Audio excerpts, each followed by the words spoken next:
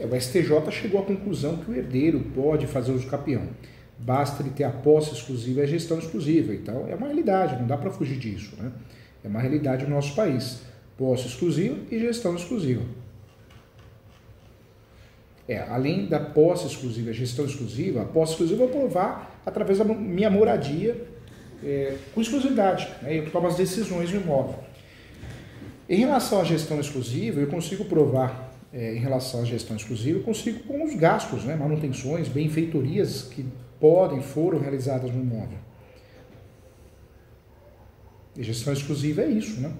São benfeitorias que somente eu fiz no imóvel, somente eu faço no imóvel.